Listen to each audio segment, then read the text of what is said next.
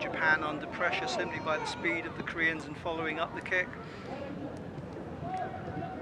Good clearance in the middle. Clean out by the uh, Japanese, very quick as well. Long ball over the top to the speedster. Matsui, what can he do? Oh, he's outflanked them and raced in, and he's got to be into the corner. What a great try for the young man making his debut in international rugby for Japan, Matsui.